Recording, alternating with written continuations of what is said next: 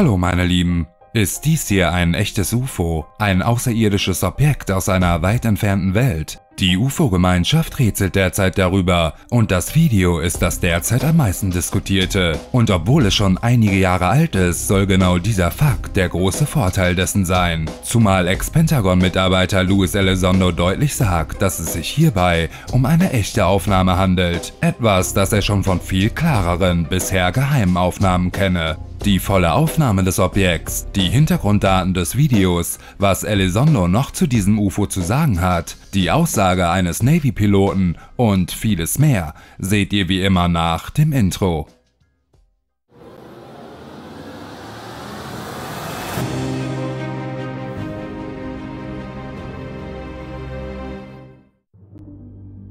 Das sogenannte Fly-By-Video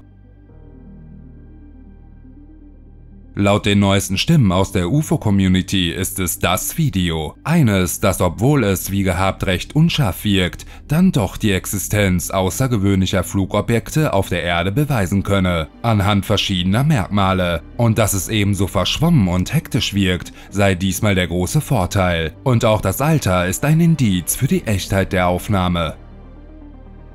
Es ist nur 20 Sekunden lang und mehr als 10 Jahre alt und doch ist dieses Video derzeit einer der am meist diskutierten Aufnahmen eines UFOs, eines unidentifizierten fliegenden Objekts.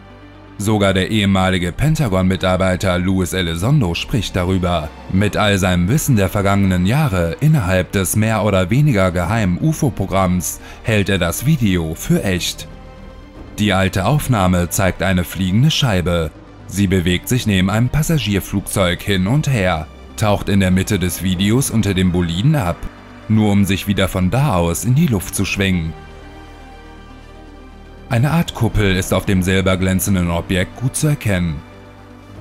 Fast schwerelos und vom Wind getrieben bewegt es sich über den bewölkten Himmel. Verkehrsflugzeuge fliegen im Reiseflug auf einer Höhe zwischen 10 und 15 Kilometer. Es ermöglicht ihnen schneller zu fliegen. Der Reibungswiderstand der Luft ist einfach geringer. Dort oben beschleunigen sie dann auf bis zu 1000 Stundenkilometern. Das hier zu sehende Objekt muss also extremen Kräften widerstehen können. Es fliegt oder schwebt mit einer Leichtigkeit durch die Luft, die kein menschengemachtes Objekt vollführen könne. Manch einer sagt sogar, es spiele mit dem großen Passagierflugzeug. Andere wiederum erinnert es an eine Feder, die vom Wind getrieben ihre Runden zieht. Unklar ist bisher, um was für ein Flugzeug es sich handelt. Zwar nehmen einige an, dass es sich hierbei um eine Boeing 737 handelt, die Aufnahme selbst lässt aber keine Rückschlüsse auf die Bauart zu. Die Innenansicht ist in den 20 Sekunden nicht zu sehen.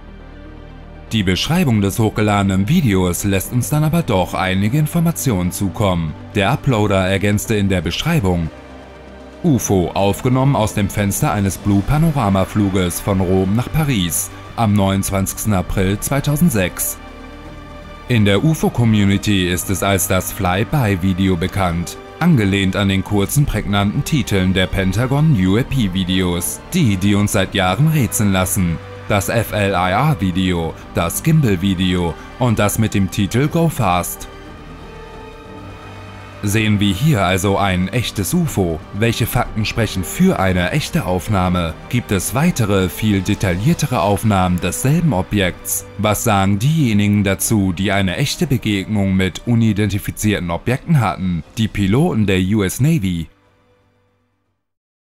Das auf YouTube hochgeladene Flyby-Video wird mit dem Erstellungsdatum 5. März 2008 gelistet. Rund zwei Jahre später also, als es die Beschreibung des Videos zeitlich verortet, dem 29. April 2006. Jetzt könnte man sich erst einmal die Frage stellen, warum man das Video erst Jahre danach hochgeladen hat. Allerdings existiert YouTube noch nicht so lange, wie manch einer denken mag. Das erste YouTube-Video wurde erst am 23. April 2005 auf der Plattform veröffentlicht und es sollte noch Jahre dauern, bis YouTube so bekannt war, wie es heute der Fall ist. Das verspätete Upload-Datum ist also erstmal kein Indiz dafür, hellhörig zu werden. Im Gegenteil, niemand geringerer als Ex-Pentagon-Mitglied Luis Elizondo habe sich zu dem Video klar geäußert. Er halte das Video für sauber. Es zeige ein echtes, unbekanntes fliegendes Objekt. In seiner Funktion im Pentagon habe er schon gleiche Videos dieser Scheibe gesehen, von weitaus besserer Qualität. Doch diese würden weiterhin unter Verschluss gehalten. Keine Chance, dass diese jemals das Licht der Öffentlichkeit erblicken würden. Andere wiederum halten die Aufnahmen für CGI, ein mittels 3D-Grafik auf dem Computer erzeugter Spezialeffekt. Nichts weiter als zusammengesetzte Einsen und Nullen sollen uns diesen Flug neben der Passagiermaschine beschert haben. Doch dem widersprechen viele, die das beeindruckende Video genauer betrachteten. Im Jahr 2006 wäre dies nicht möglich gewesen und selbst wenn man das Upload-Datum im März 2008 heranzieht, erschiene es mehr als unwahrscheinlich, dass es von einer Privatperson so perfekt gefälscht wurde. Derartige Special Effects seien vor 13 oder 15 Jahren noch so derartig teuer gewesen, dass dessen Umsetzung quasi unmöglich gewesen wäre. Allein die Anschaffung eines Computers mit entsprechender Ausstattung ging in die Zehntausende. Und das für ein 20 Sekunden langes Video, hochgeladen auf einer damals noch recht unbekannten Plattform, eines, das bis heute immer noch keinen einzigen Cent erwirtschaftet hat. Diejenigen, die das Video gründlich untersuchten, konnten auch keinen alten Ausschnitt einer Filmproduktion finden, der dem das hier Gesehene gleicht. Fest steht, es ist keine Szene aus einer Hollywood-Produktion, es entstammt keinem Film und keiner Serie. Lassen sich an dem Flugverhalten noch weitere Indizien für die Echtheit des Objekts ausmachen? Was sagt jemand dazu, der wissen müsste, wie sich ein solches UFO verhält?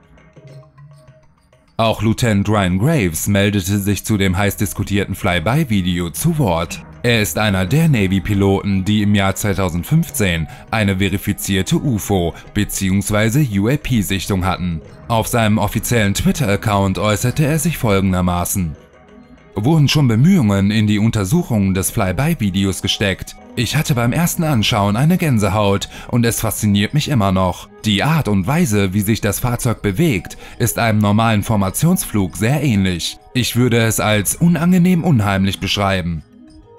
Die Mechanik kommt mir sehr bekannt vor. Wir führen ähnliche Manöver nach jedem taktischen Einsatz durch, sogenannte Battle Damage Checks. Der Punkt ist, sich das andere Flugzeug physisch anzusehen, um sie auf Schäden oder aufgehängte Bomben zu untersuchen.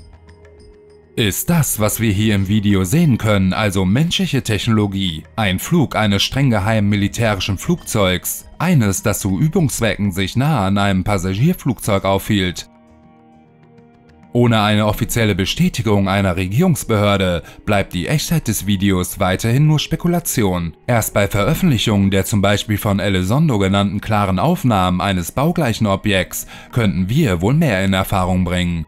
Mich persönlich stört an der Aufnahme die Tonspur.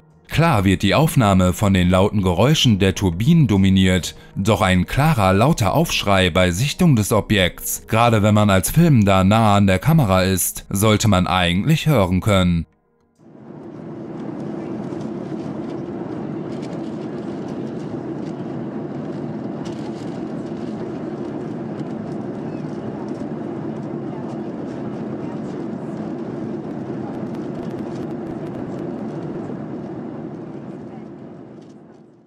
Was haltet ihr von den derzeit wohl bekanntesten UFO-Video? Zeigt es uns ein außerirdisches Raumschiff? Ein hochentwickeltes menschliches Flugzeug? Oder ist es eine Fälschung? Schreibt mir wie immer eure Meinung in die Kommentare. Bis dahin, Augen auf und bis zum nächsten Video.